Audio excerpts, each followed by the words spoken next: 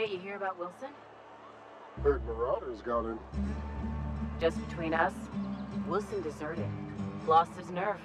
Ran off in the thick of night. You kidding me? Damn. Always thought he was made of sterner stuff. I think he was plagued. Guess he didn't want to die in the sick house. Plagued? Ah, shit. I had some of his salt tuna. You moron.